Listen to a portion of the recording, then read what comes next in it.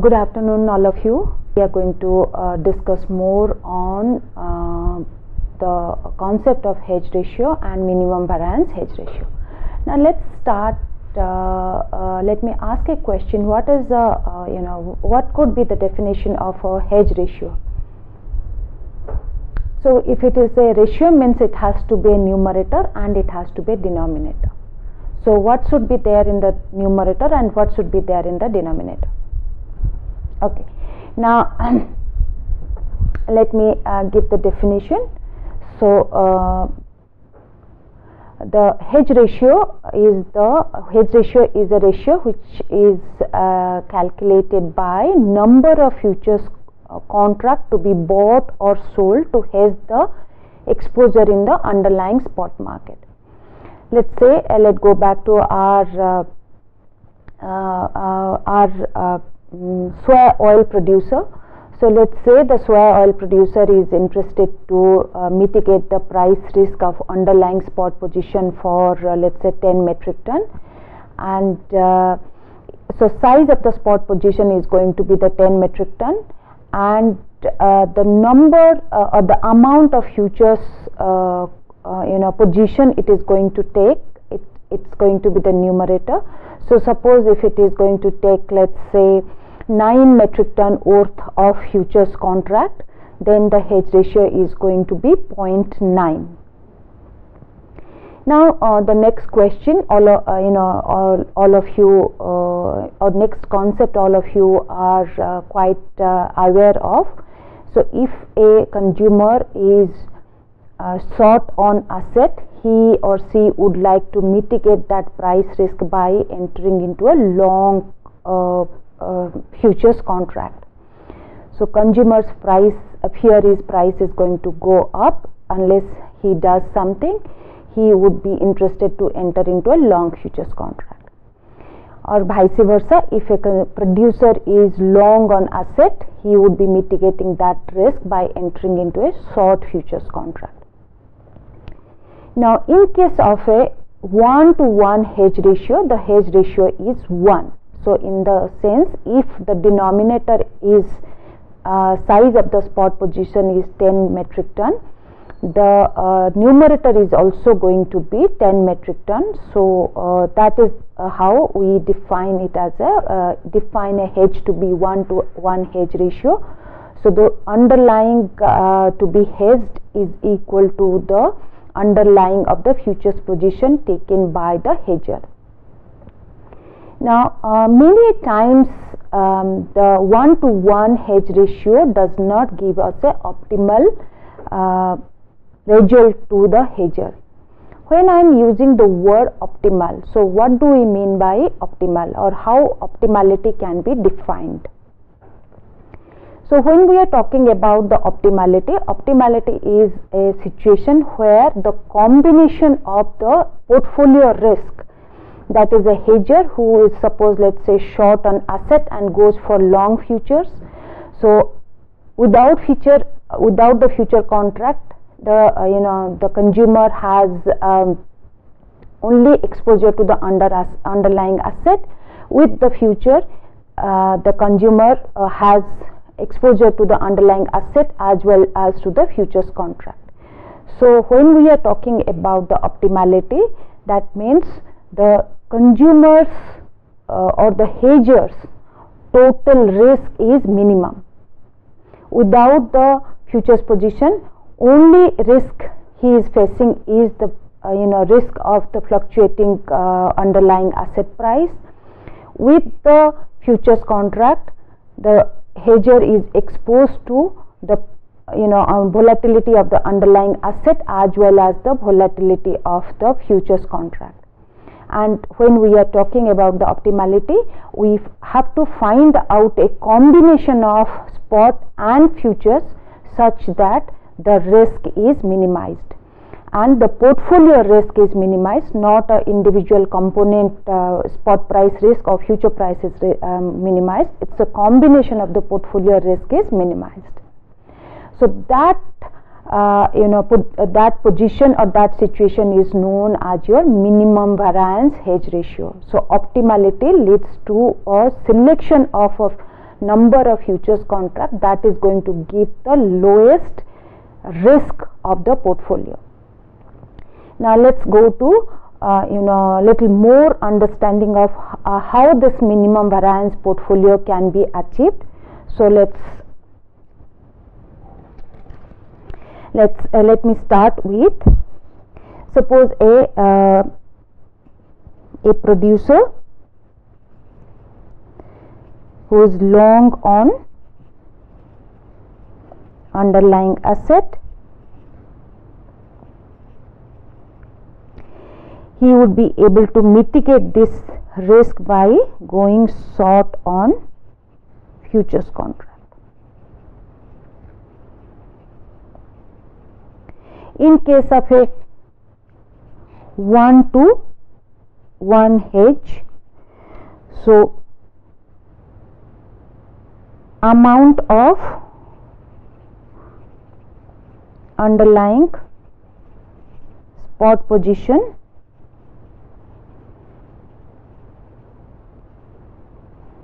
will be equal to the amount of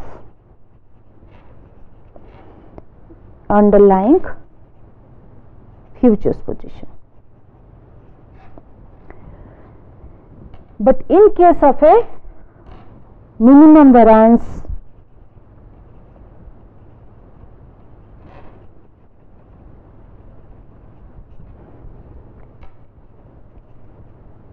hedged portfolio we have to find out x unit of futures contract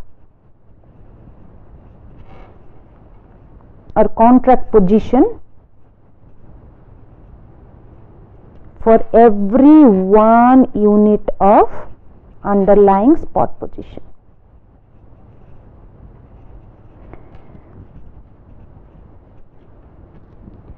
So let's represent this x unit as RH. So if a consumer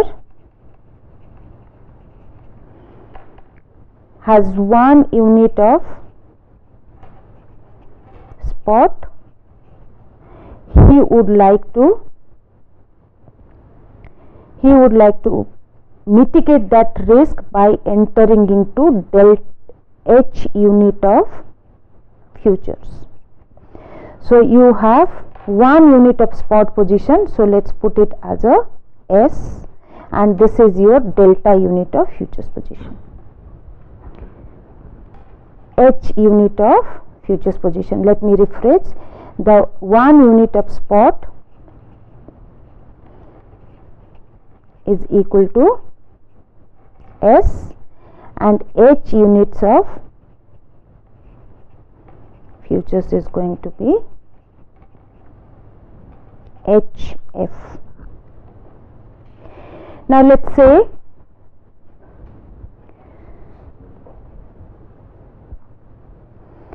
let's say uh, the producer owns one unit of spot asset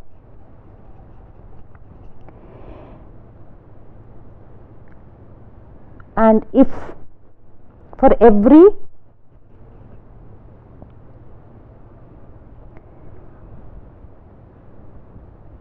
for every unit of price increase in the spot asset he is going to benefit delta S. So, his benefit is going to delta S, be uh, delta S.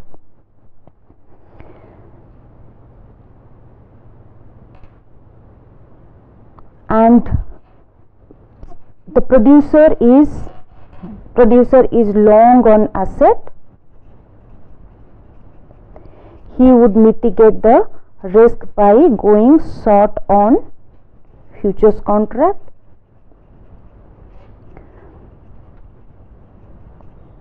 So, his total benefit from the both long on asset and short futures contract is to be delta S minus H delta F. Why are we using the why are we saying minus? Because whenever the spot price will increase and future price increases, he will gain from the spot position and he will be incurring loss in the futures position. So his net payoff is going to be governed by delta S minus H delta F. So similarly, you can have for a consumer, consumer payoff or consumer benefit is going to be H delta F minus delta S. So, if price increases consumer is going to incur loss in the spot position. However he will he is going to be gaining in the uh, futures position. So his benefit or payoff from the price change is going to be governed by h delta f minus a, uh, delta s. Now let's if this is going to be the daily payoff let's say what is going to be the portfolio risk this portfolio risk will be com coming from portfolio risk from producer point of view who has taken delta S minus H delta F. So, the portfolio risk let me put it as RP portfolio risk is going to be governed by sigma square delta S.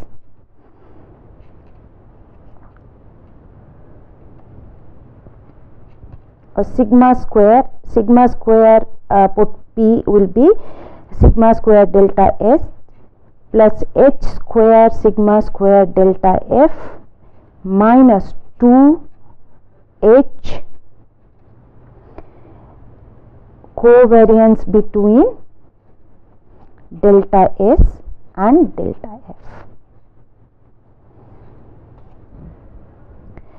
Or sigma square p that is portfolio risk is going to be delta square s plus h square delta square sigma square delta f minus 2h and we know covariance between delta s and delta f can be represented as correlationship between delta s delta f and sigma delta s and sigma delta f.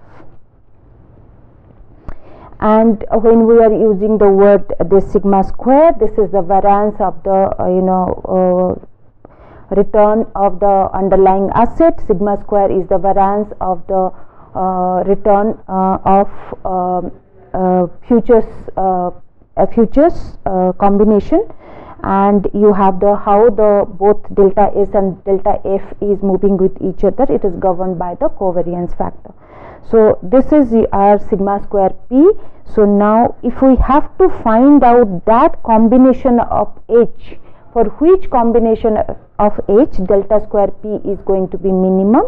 So we have to take the first derivative of this portfolio with respect to delta h and equate it to 0 so going by that we will have 2h into sigma square delta f minus 2h 2h will be h will not be there. So correlationship between delta s delta f and sigma delta s and sigma delta f. So this will be equated to 0 so when we equate this one to 0 so this gives rise, rise to 2h sigma square delta f is equal to two correlationship between delta S delta F minus sigma delta S sigma delta F. So 2 2 cancels out. So H is going to be correlation between delta S delta F into sigma delta S sigma delta F by sigma square delta F. so sigma square sigma square delta f sigma delta f sigma square delta f cancels out so h is nothing but correlation between delta s delta f and sigma of delta s by sigma delta f. So this is our so depending upon the correlationship between the change in the spot price and change in the spot price change in the spot price and change in the futures price into the standard deviation of change in the spot price divided by standard deviation of change in the futures price is going to give us the minimum variance hedge ratio. That is the value of h. Let's say we are going to get a value of 0.6 that means every one unit of asset a producer is owning he must uh, be using or he should use 0.6 units of uh, that underlying com uh, commodity for uh, buying future or for taking futures position now let's take some uh, real life example to find out how this H is exactly calculated. So uh,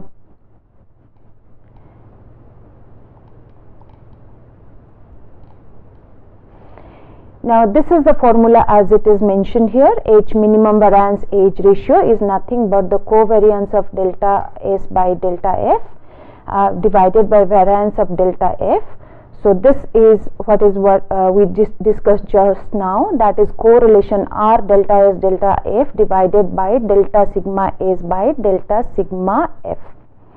Now let me take give you this real life example. Uh, this particular uh, Excel file shows you the um, this Excel file has got three worksheets. So we are just talking about the worksheet number one. If you can see uh, if it is visible to you uh, this is the uh, black pepper uh, May futures contract available from NMCE website. And this column F is the futures price and column I is the spot price. Based on the futures price and uh, you know futures price and the spot price we have calculated the delta. This delta is nothing but your delta is nothing but your f1 minus f0 f2 minus f1 so on and so forth. So delta futures is the change in futures price on a daily basis. That is tomorrow's futures price minus today's futures price. Similarly delta spot has been calculated. And uh, we just now discussed that minimum variance hedge ratio can be calculated with the three components. That is the correlation between delta S delta F and standard deviation of delta spot divided by standard deviation of delta futures. So if I calculate this, so this particular correlation between the uh, black uh, pepper delta spot and delta futures indicates 0.58 and standard deviation of spot uh, delta spot is 576 standard deviation of delta futures is uh, 958 going by that calculation you have your delta uh, minimum variance ratio is 0.35 that means every 1 kg of underlying a commodity producer or uh, you know consumer is you know uh, holding or interested to buy he should enter into a futures contract for uh, 0.35 kg. So if he is uh, holding uh, let's say um, 100 metric tons of uh, sugar uh, sorry black pepper uh, underlying. A producer is holding 100 metric tons. He can go ahead and buy futures contracts for 35 metric tons. Now let's take other example. Besides the black pepper I have also calculated the isabgol seed uh, minimum variance hedge ratio. This is the this particular which uh, information which is given in the red font. So you have a correlation. Correlation is 0.734 delta futures is 91.08 delta spot is 124 and minimum variance hedge ratio is coming to practically 1.999 that means every one unit of isabgol uh, spot position being held by a consumer or uh, producer uh, uh, the uh, you know consumer producers should take a futures position for the same number of same quantum of underlying. So 100 kgs of isabgol should be uh, price risk associated with uh, 100 kgs of isabgol should be hedged by uh, entering into futures contract for a quantum of you know 100 kg so now let's go to another commodity. That is the third commodity which is the raw jute. And in case of a raw jute let me increase the font size.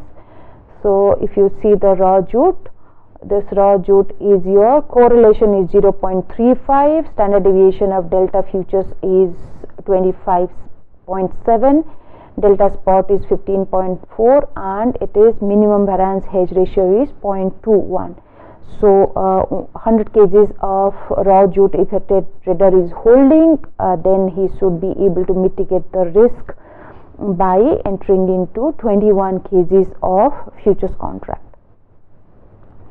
So, this is the minimum variance hedge ratio. Minimum variance hedge ratio can also be found out from graphically that is through our ordinary regression uh, method that is known as your beta h. Let's as you can see from the screen beta h. So what is a what is beta h? Beta h is the in case of a, in this particular regression you have a delta spot. Change in the spot price is taken as the dependent variable and change in the futures price is taken as the independent independent variable. And uh, using a regression methodology we find uh, we find out what is the beta and the beta is the minimum variance hedge ratio. In fact this two uh, you know minimum variance hedge ratio calculated using uh, this above formula and this formula gives the same result because this is the uh, you know beta represents uh, the h.